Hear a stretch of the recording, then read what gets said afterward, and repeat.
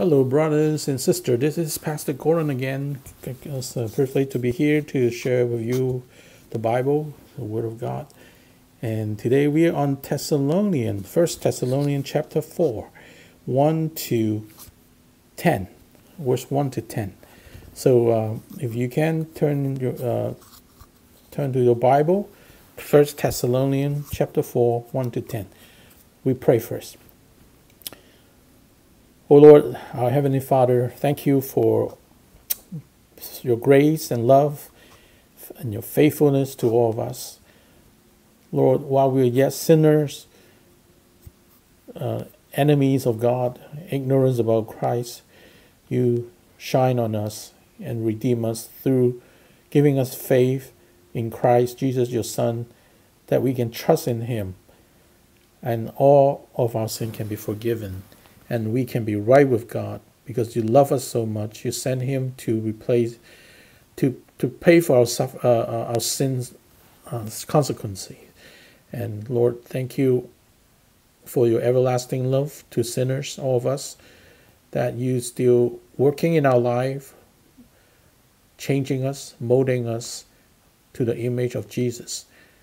That we lost your glory in Adam, but now in Jesus we you restore our image in Christ in, in God so that we can be like you who is holy and righteous and kind and loving and merciful.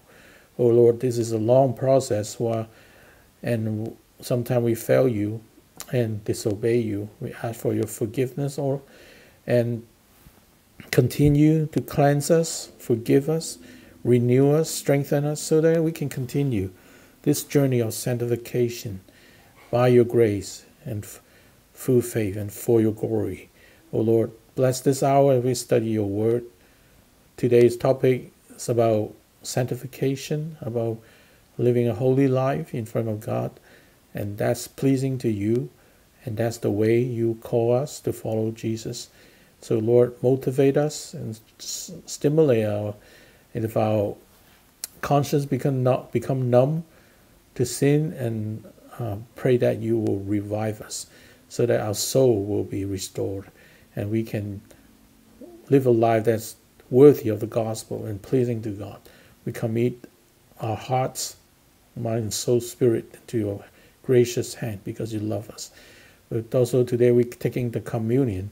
We pray for your presence and your uh, and you minister to all of our hearts and strengthen us. We commit this time into your gracious hand. In Jesus' precious name, I pray. Amen. Okay, let's turn to First Thessalonians chapter 4. Let me read it to you, verse 1 to 10. Finally, brothers, we instructed you how to live in order to please God, as in fact you are living.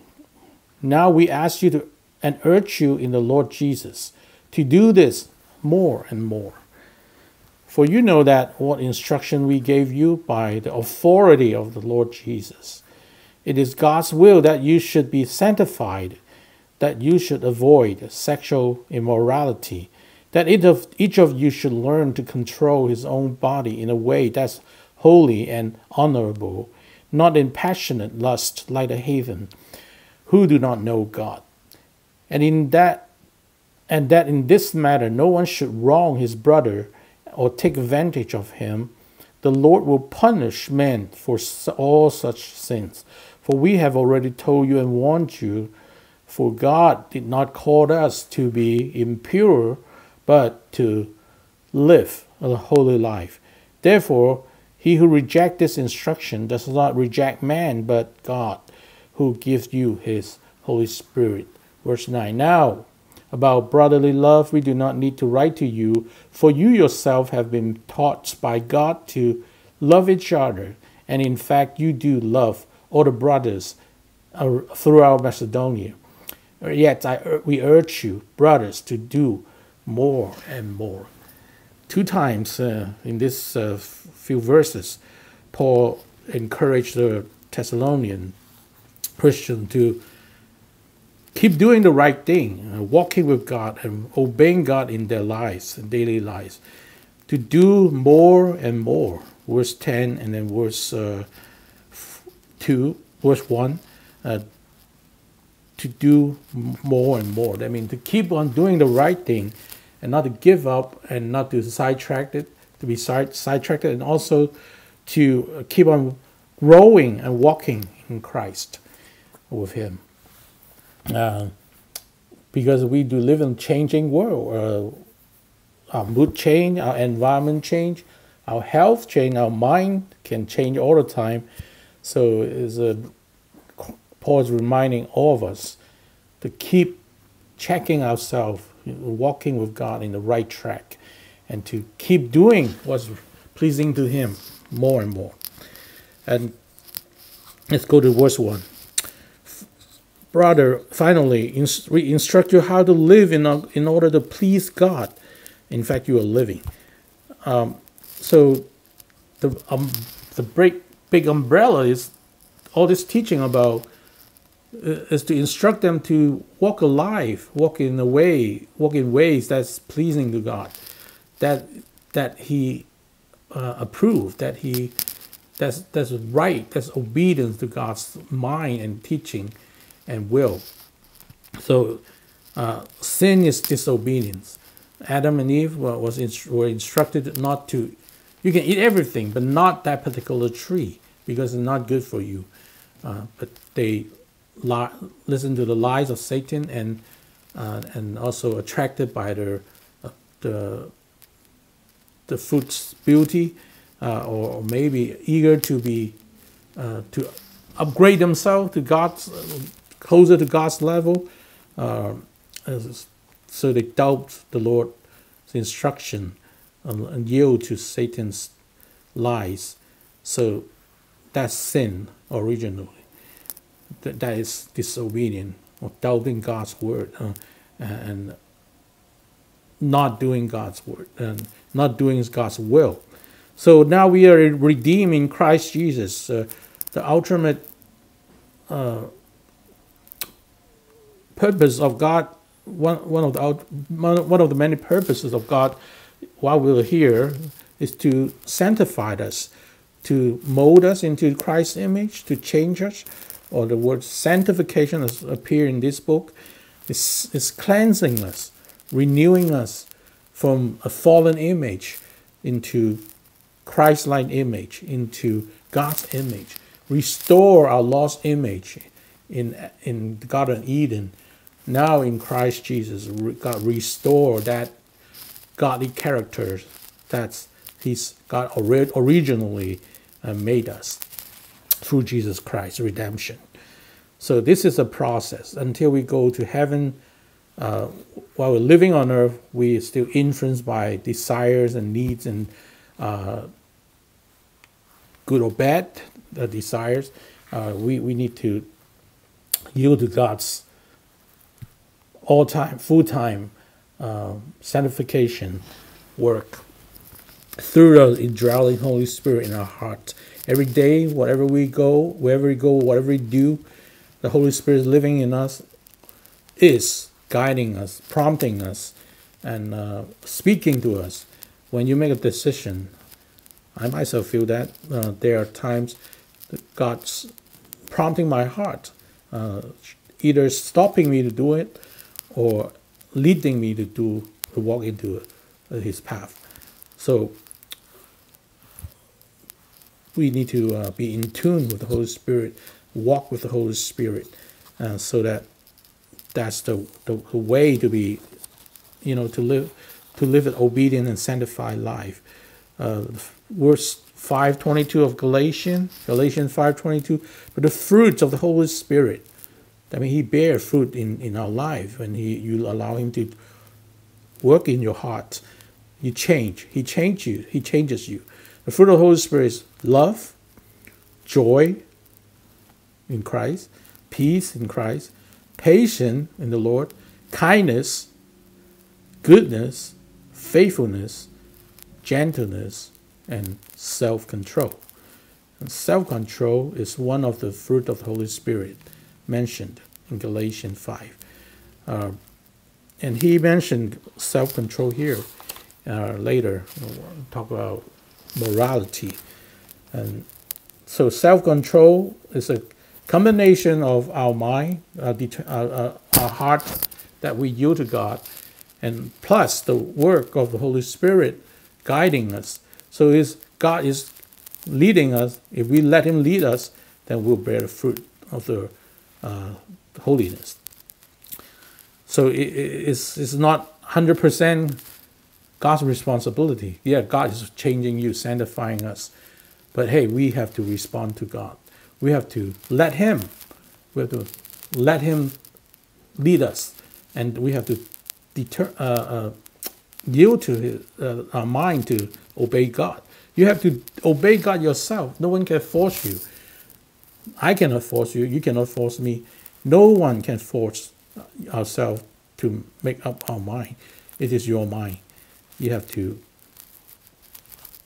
make that decision. Uh, uh, this is part of my conclusion is uh, purity is a choice. It, it, you have to determine to do that. And you, by God's grace, you, one day you convicted that, oh, my life is so messed up. I need to be changed by God. I need to walk closer with the Holy Spirit. Um, that you, you respond to his calling to holiness. And I'm sure he, he will bless that decision. Uh, some many down the in, the, in our journey with God, there are many times we stumble, and uh, we grieve the Holy Spirit, and we mess up ourselves. But God is a forgiving God and merciful if we repent, and He always there to forgive and also renew.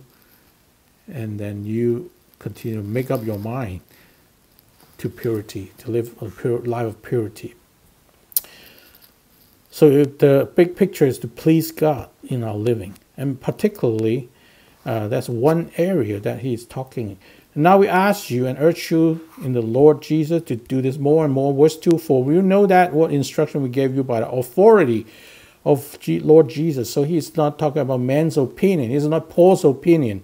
It's not uh, Peter or whoever's opinion. It is Jesus' teaching here. He's instructing them with God's will, the Lord's authority. So better listen, you and me. Verse 3 It is God's will that you should be sanctified, that you should avoid sexual immorality. Let me repeat it. It is God's will that you and me should be sanctified, to be cleansed, to be set apart, that you should avoid is the negative part. The positive is to be sanctified, and the negative part is to avoid, stay away, run away from sexual immorality that each of you should learn to control his own body in a way that's holy and honorable, not in passionate lust like the heathen who do not know God. So, um, so he, verse four, he uh, verse three and four, he started to introduce this this uh, theme here in in this uh, section. That Peter, I mean uh, Timothy, went to visit them and bring back good news that they're doing well. They are very hospitable. They are very loving Christian. We don't know, but maybe there are some areas in this uh, in this area that God prompt um, Paul to address. Uh, they do they did live in a very pagan uh, environment.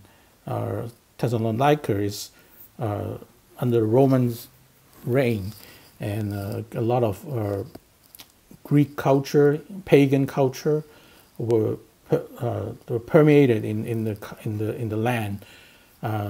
That affects their worldview, Uh, who God, uh, uh, the view of God, uh, the and also affect their moral standard. anyway, he is charging us to know that it is God's will that, that we must be sanctified by God. And one of the ways of sanctification is to be sexually pure, avoid sexual immorality. Um, uh, the word maybe uh, well, definitely talk about sexual sins, and uh, the, the the direct context probably of adultery. Uh, uh, a married man uh, violate uh, uh, have adultery have sexual intercourse, uh, sexual relationship with besides his wife. Uh, that's porneia. That that's the Greek word. Uh, uh, it's uh, basically uh, sexual sins and, and marital unfaithfulness. Uh, but but is in could be a very, very general term. Anything that's not sexual behavior not according to God's plan, not according to God's design and purpose of sex, and um, that we have to be careful and avoid. Um, and then he bring up, we should, each of you should learn to control his own body in a way that's holy and honorable. So that's how we should live. Uh, we should be sanctified how, but is to live a life, in, in particularly in, in, our sexual behavior, is holy. That's as a God's character, holy and, uh, and honorable, is not shameful. Uh, that is acceptable to God. Con- contrast to the pagans, not non-Christian or no, who don't know God, not in passionate lust like the heathen who do not know God. If you do not know God, then that totally affect the, your conviction, your will, will, your value about many things, uh, wealth or um, ethics, uh, definitely sexual uh, morality. Uh, let me read a little bit to you about uh, some understanding of the culture at that point, uh, around that time, Roman Empire, and um, not necessarily Jewish. Uh, Jews have uh, Old Testament, so so they uh, practice monogamy, and uh, one wife, one husband. Uh, but the Greek culture, uh, pagan culture, oh, totally different. Everything goes. Um, let me read a little bit from. I think this is from F. F. Bruce commentary on First Thessalonian. He, he, he quotes something uh, Uh, from this uh, guy from Athens, uh, who's a very reputable citizen of Athens around 4th century BC. So uh, 300 years, a few hundred years before Christ. Uh, that's their, that's what he wrote. he said, this guy, he said, we kept, we keep mistress, mistresses for pleasure, concubine for our day to day bodily needs, but we have wives to produce legitimate children and serve as trustworthy guardians for our, of our homes. This was the outlook of a reputable citizen Athens in the 4th century BC. Over two cent- centuries earlier, Solon, uh, the great legislator of Athens, is said to have legalized, legalized prostitution and proclaimed that the profits from the state brothels should be used. Guess for what? The profits from state brothels should be used for building of temples, worshiping all the all kinds of god from the of the Greeks. No official religious sanction should be expected against the practice of prostitution. Here we are concerned only. I mean, uh, this is the quote uh, from from page eighty six of F.F. Bruce commentary. So, so he quoted some writing from fourth century before Christ. Uh, that's the moral standard, general, in general, uh, generally. Uh, men have, uh, they, they have, uh, uh, not funny, but, but it, it is going on like that. They have mistresses for pleasure and concubine uh, for our day-to-day body needs. So they, they think that's uh, totally acceptable and quote unquote normal. But we still have our wife to provide legitimate children, serve trustworthy guidance of our home. So uh, that's the moral standard uh, at that point of time. Uh, people can get married, have many children, and have a wonderful home, but uh, they still have many uh, affairs and, and relationship outside marriage, sexual relationship, and uh, they justify it. They say, "Oh, that's our body needs, and it's okay to do it."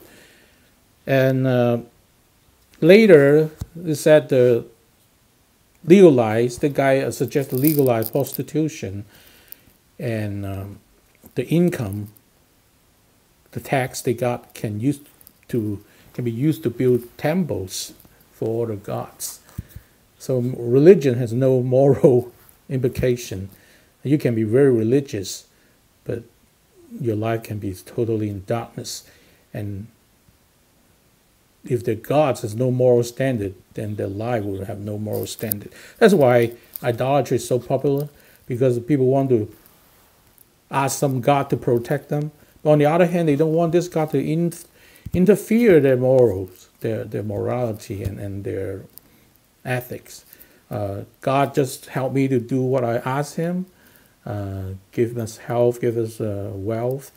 But on the other hand, I live my life. I, I can uh, have five uh, girlfriends and uh, two wives and whatever. I can cheat in, in my business. I can lie every day. I can live a double life or a triple life. uh, has nothing to do with God. Uh, that that's popular. Uh,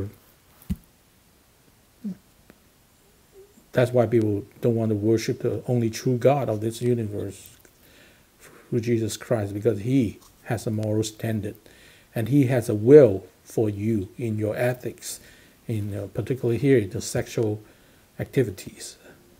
And, uh, he requires us to live a pure life sexually. And uh, a pure life, as, uh, as defined in the scripture, uh, marriage, through marriage, uh, a man or woman can satisfy the sexual desire. Uh, when God put them together, they uh, it is totally legitimate and pleasing to God. That's how God designed sex. Is for husband and wife to enjoy this relationship, love through love, they have sex and then have children and to have the family. And that's the wonderful design of God. So later he suggests, uh, uh, uh, actually in other book in Corinthian, I mean in uh, it's in First Corinthians seven. It says uh, to have uh, encourage people to get married, uh, so that they will not be vulnerable sexually, because he said the, the they allow immorality there where they're living. So it's better to get married or, or, or to uh, be burned in, in lust. And so um, marriage is a way God provides for uh, to satisfy our sexual needs.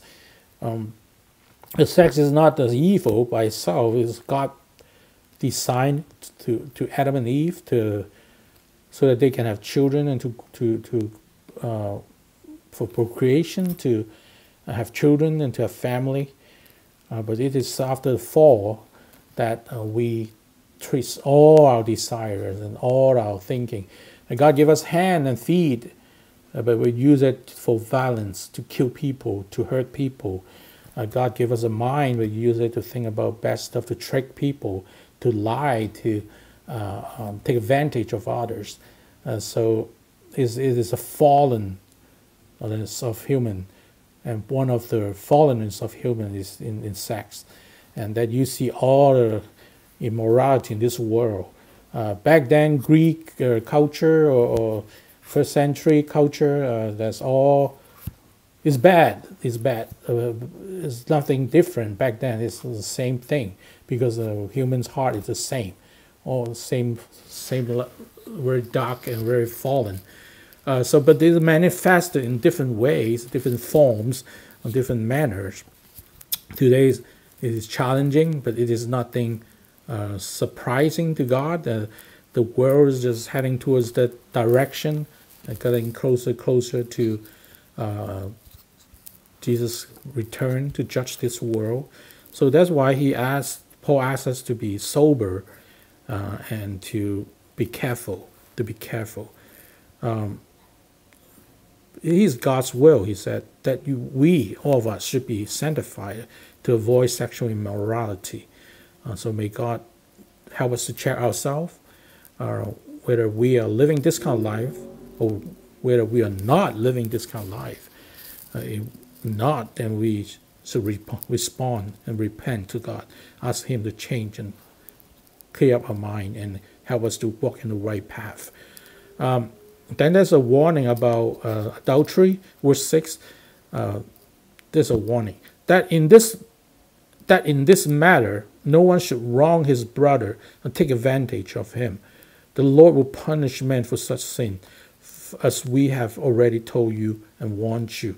Uh, very likely, he's talking about uh, if you uh, commit adultery with another married woman or, or not married woman, uh, you violating her first of foremost, and secondly, you violating her husband, uh, future of uh, uh, the the present husband.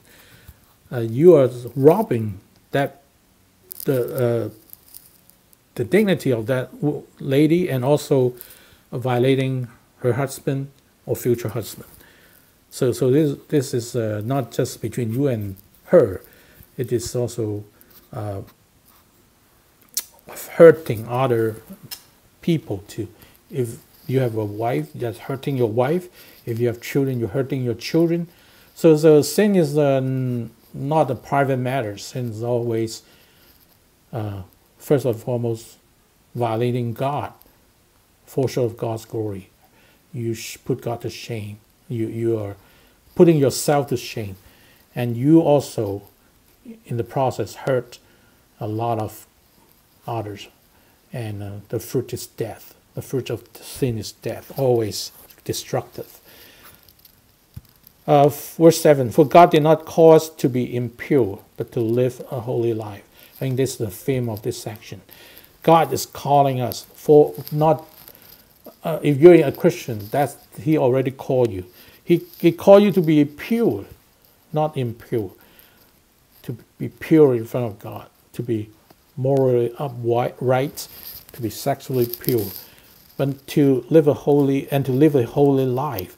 So not just a thinking, not just a, a theory. Uh, we all heard this. Before. I mean, it is in our head. All this being sexually moral, uh, definitely not a new thing for you as a Christian. However, he asks us to live it out, to live a holy life.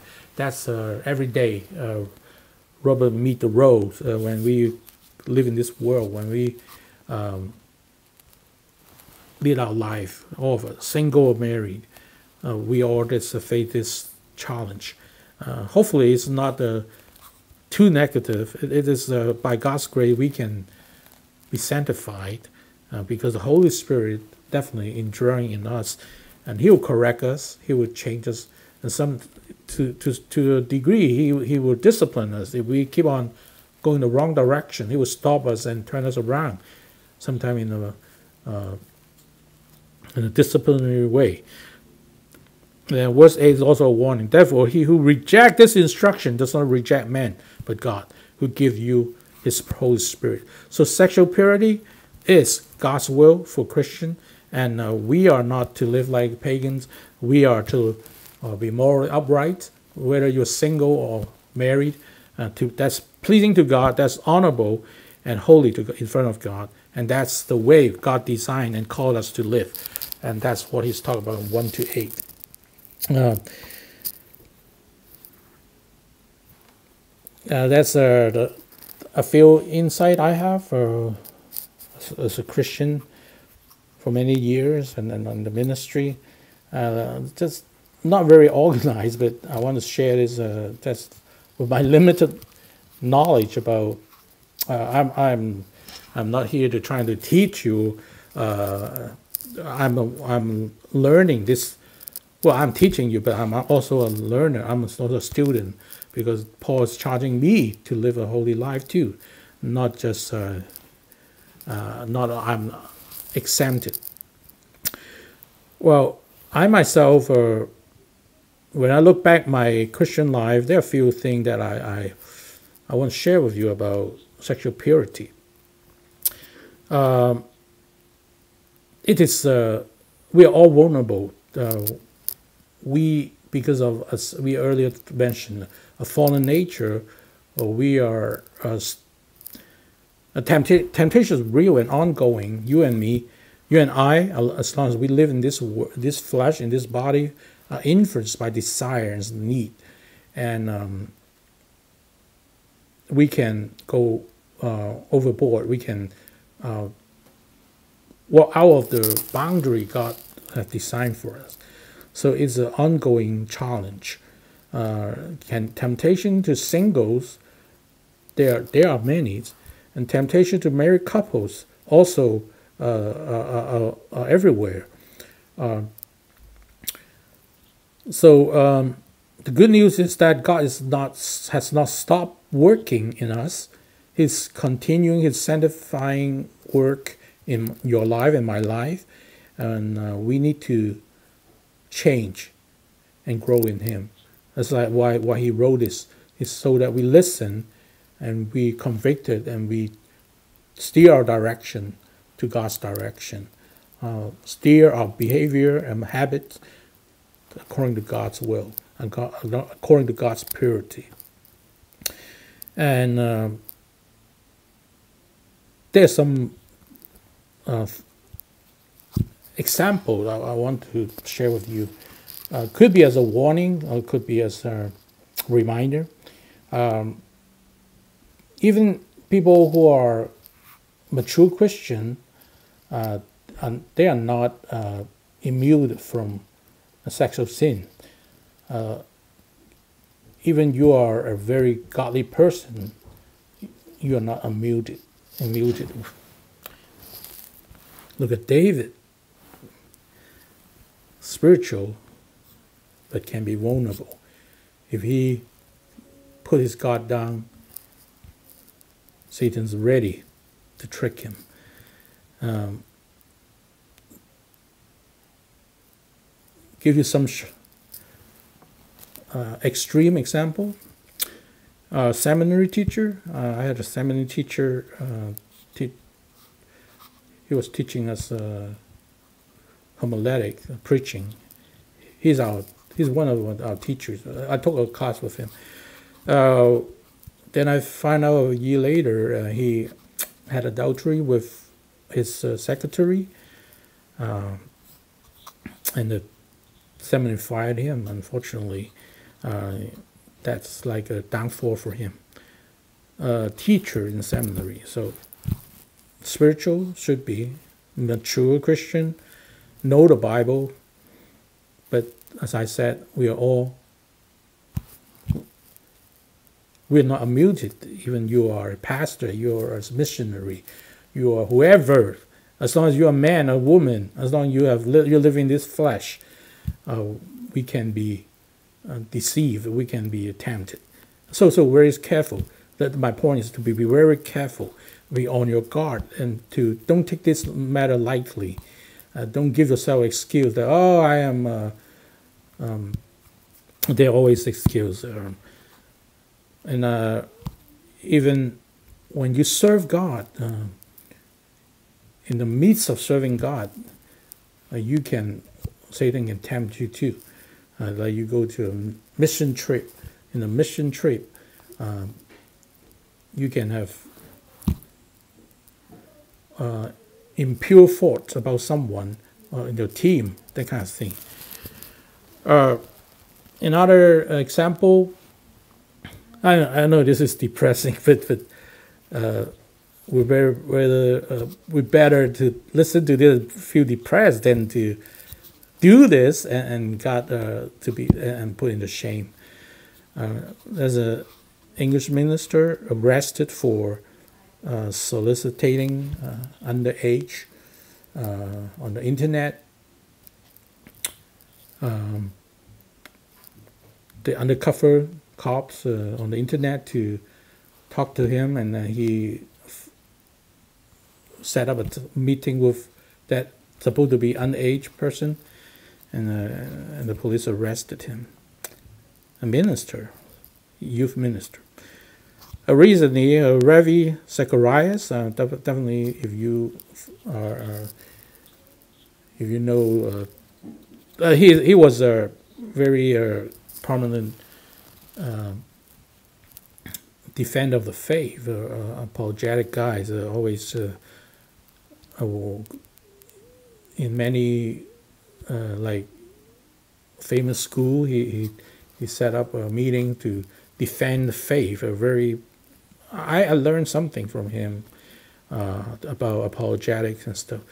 But recently, they they find out uh, he was leading a double life, and had a lot of uh, misconduct in in his sexual life. And after he passed away, uh, those things revealed come out to the surface, and uh, actually shocked the shocked a lot of the evangelical world. Uh, that's a big, big, big uh, blow and a warning to all of us. Uh, well, sex drive is biological. It is God given to everyone. But to control and use, to deal, manage our sex drive and needs, that's a spiritual thing. That that's something uh, we need God to help us. Um, to control use our sex is according to God's purpose is something spiritual and we need to rely on God all the time to walk in, in the right path. Uh, temptation is real and ongoing. Uh, we are vulnerable, all of us. Uh, doesn't matter you're single or married, there are temptations. Uh, so we have to be very careful. Uh, for people who are married, uh, the Bible suggests uh, to cultivate and reach our relationship with our husband or wife, and that's the antidote for, for temptation. And if you have a happy marriage, a, a happy sexual life with your wife and husband, and that's uh, take care a lot of the business that, that you you're a happy man or woman, and um, that you're not hunger and, for other um, inappropriate uh, relationship. But for singles, uh, uh the uh, actually the Bible encourage, um, not encourage, but Paul uh, encourage people if they God gave them the gift to be single, that's a blessing. He, he definitely said that in the Bible. He said, like me, Paul, being single is a blessing because he can serve God wholeheartedly. Uh, he have more time. He have no family burdens. You don't need to raise kids. Uh, he can have all the devotion to serve God and love God. So in that angle, being single is a blessing. But he said not everyone's called to be single. It's okay to marry. It's okay if God called you to be single. Be set, be content if God have you to be married. Be content if God did not assign you, uh, does not uh, have an arrangement for you to be married. Both uh, both group of people can live a way, live a life that, that's pleasing to God and have satisfaction and contentment in Him. So. Um, well, it, goes, it boils down to sexual purity is a choice, and uh, we have to make up our mind to do it and we have to decide what to look at, what to involve, uh, what to think, and what to act on. That that primarily, definitely under the Spirit, Holy Spirit's control and guidance. But but we have to make up our mind. If we decide not to do it, all we talk today is non is not useful for you. Uh, if you decide not to do it, that's uh, that we already kind of defeated. So, by God's grace, we one day in our journey walking with Jesus, uh, there may be time you stumble and and, and uh, shipwreck maybe, but it is uh, if God promised you, you repent and and let Him lead you. You make up your mind to live a holy life in front of God, and that's the start of the revival. Uh, we have to make up our mind. No one can force us to respond to God's calling to holiness, and that's a lifetime, ongoing a calling and, and uh, eventually a blessing from God. Uh, God calls us to be His children, and, and we actually not a lost soul in this world. We are, we belong to God and His kingdom, and His. Uh, we're under God's name. We are His belongings. We are His children, and that's the this God that you and me worship is a holy God. He hates evil, and may God change us in according to, to His image and character.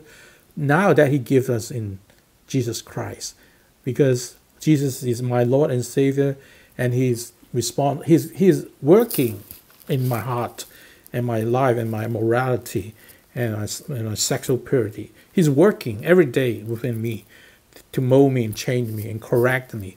So as we, I mean, we yield to Him, yield to His guidance, then that's holiness for those who want it. That's holiness for those who want it. Um, if you be uh, convicted, uh, if you respond to God's calling and said, Lord, I, I'm willing to live a life that's pleasing to you, live a pure life. Help me. And God definitely will bless you. And He work with you to change your life into a life that's holy and pleasing to Him. That's holiness for those who wants it. God is our help and make so make up our mind to live purely to God. Uh, the Bible warns us, be alert and of sober mind. Your enemies, the devil, prowl, prowls, prowls around like a roaring lion looking for someone to devour. Resist him, standing firm in the faith and then the comfort. Because you know the family of believers throughout the world is undergoing the same kind of sufferings. So we are in a spiritual war. Um, you are not the only person who struggle sexual purity.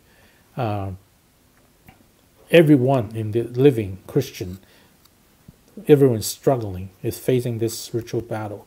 So don't be too, don't feel too lonely. Uh, uh, Jesus asked his disciple to wash each other's feet as he set an example for us.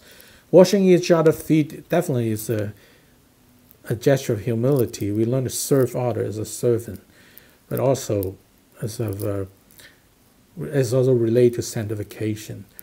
Uh, that in, in in the Church of God, brothers and sisters are supposed to encourage each other to motivate each other to walk in the path of holiness and sanctification. We are to wash each other's feet. Uh, we do live in a dirty world, uh, fallen and broken. Uh, we do live in this world. Uh, how can one be clean and pure in front of God? Uh, nowadays, every time we go out, we have to wash our head and wear masks. And I find myself using the, the hand cleanser too much. Every when I walk in the store, I, I rub, and when I come out, rub. And, oh man, it's too much. It's like hurting my skin. Uh, but that's cleansing. That's that's protection.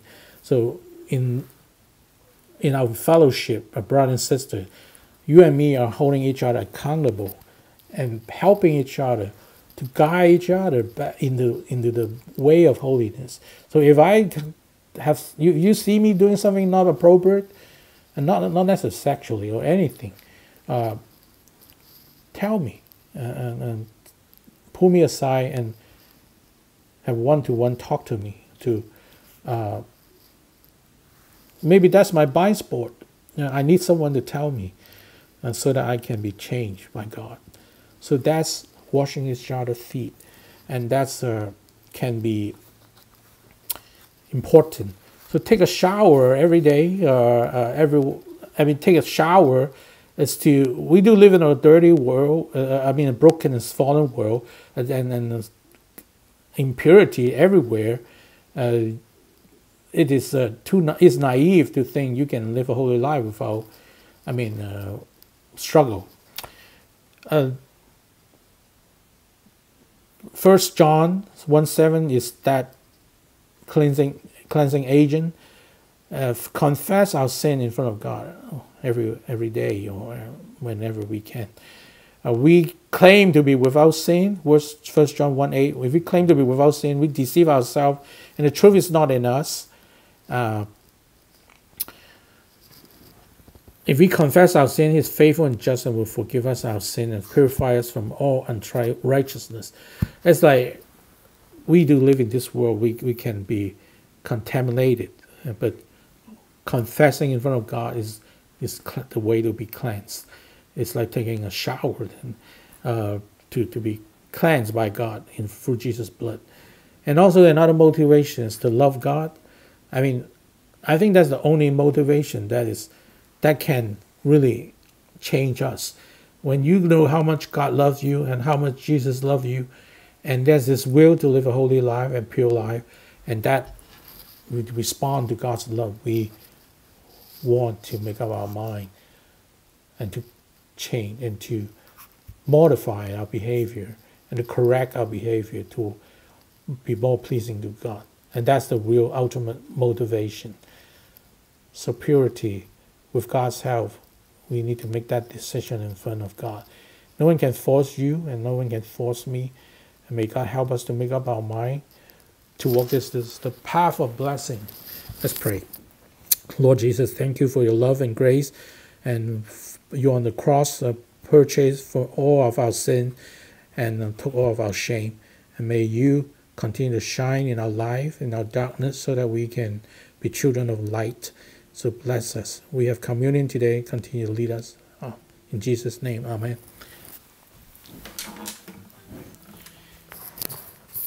Let's uh, prepare our hearts for communion. And uh, this song I wanted to share with you is called Living for Jesus. Um, one of my favorite hymns. Uh, the lyrics are so powerful and uh, definitely something for us to remember we are, we are not just live for ourselves, we live for Christ who redeem us. I think. So today, you and me, for the rest of our life, is to live for Christ and glorify Him. Let's sing this one. Living for Jesus, a life that is true, striving to please Him in all that I do yielding allegiance, glad hearted and free. This is the pathway of blessing for me. Oh, Jesus, Lord and Savior, my heart gives to thee. For thou in thy atonement did give thyself for me I no other master. My heart be thy throne. Life I give henceforth to live. O Christ, for thee alone. Living for Jesus through earth little while. My dearest treasure the light of his smile. Seeking the lost one, he died to redeem. Bringing the weary to find rest in him. Jesus, Lord and Savior, I give my soul to thee. For thou in Thy atonement did give thyself for me. I own no other master, shall be thy throne. My life I give henceforth to live, O Christ, for thee alone.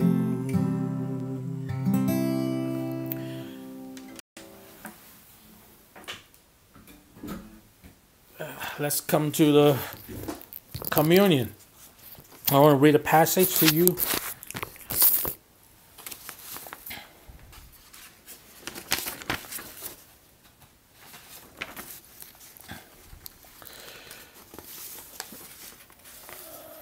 to find it. Sorry about that.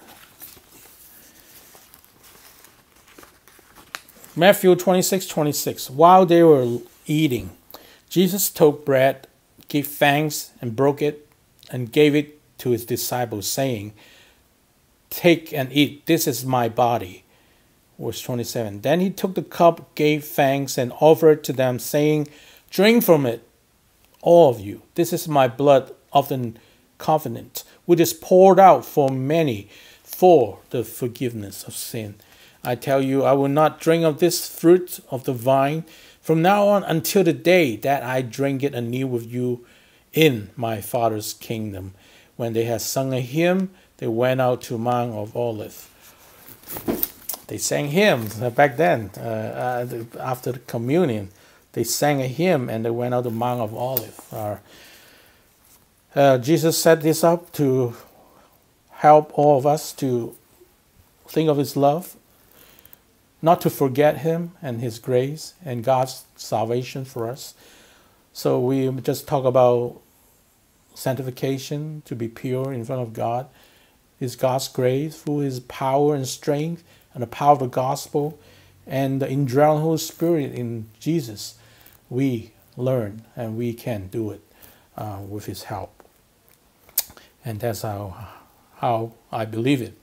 And may God give us strength and he said, This is the bread broken for you. Take and eat. Uh, this is my body. Uh, he's, he's the bread of life.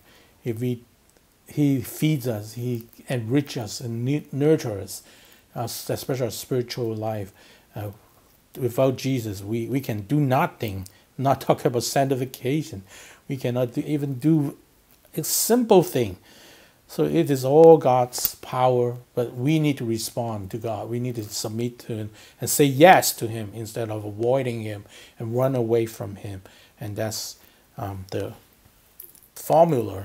God is always leading us, but we need to follow to, in order to achieve everything significant in God's eyes.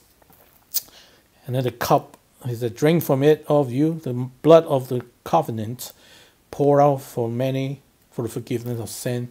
It's like that Moses sprinkled the blood on the altar uh, to to set up a confidence with the Israelite. Now Jesus, through his blood on the cross, uh, the treaty, uh, covenant is established. Now in his blood, we can be cleansed and forgiven. And now let's commune, take this communion together with, uh, with our thankful heart. Let's pray. Dear Lord, we praise you. Uh, that you are so gracious, so loving, so patient, and so righteous, and um, so wise. And none of us can uh, know you and approach you. It's only because you first approached us and called us. So we respond to your love and grace. We respond. We we say yes to you. We yield to you and let you take control over our life. We give the steering wheel to you, the offer of our life. So bless this time as we in June take this communion together as a church. May you bless us and bless all the brothers and sisters. Whatever they're struggling, God, your grace is sufficient and you are more powerful than anything in this world. And we trust that you are the victor and you are the resurrection and life. And uh, so we commit this uh, all of our hearts into your hand. Pray for ourselves in Jesus' name. Amen. So if you're a baptized Christian, I encourage you to take this with us. Uh, so this is Jesus said, "This is the body. Uh, take and eat it. This is my body, and, and uh, broken for you." So let's do it to remember Jesus.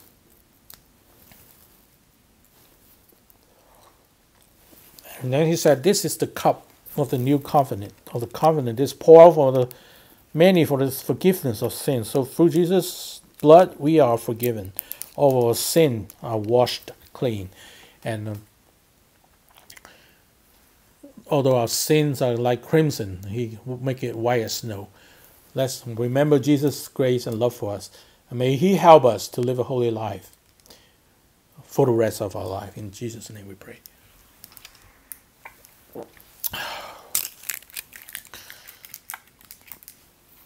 Why don't we end with a, another song? Simple.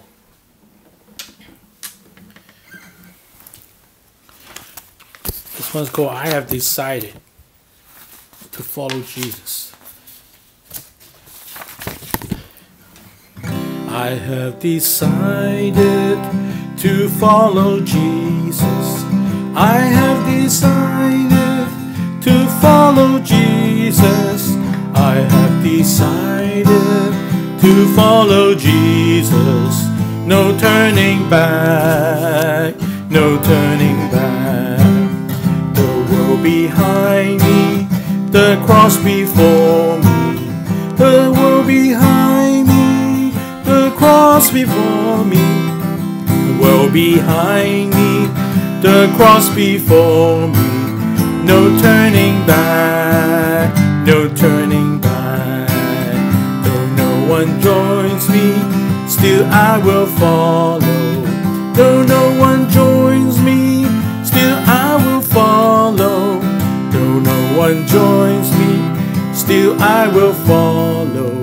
No turning back, no turning back. I have decided to follow Jesus. I have decided to follow Jesus. I have decided to follow Jesus. No turning back, no turning back. Gracious Lord, we come in front of you. We bow and pray and pray for your help and strength while we do live in this world, fallen and for wickedness. Oh God, it is your will that we who are set apart by your grace to reflect that holiness in our daily walk. So God, since this is your will, we know you will provide and you have taught us in the Bible and we obey and we believe that's that you will supply all the resources we need in order to fulfill what you have taught us in the scripture. So if we are discouraged, if we are, uh, feel defeated, may you revive us and strengthen all of us, because that's holiness for those who seek to ask for it, to want it. So may the grace of the Lord Jesus Christ, the love of the Father, and the fellowship of the Holy Spirit be with you all. Amen. Until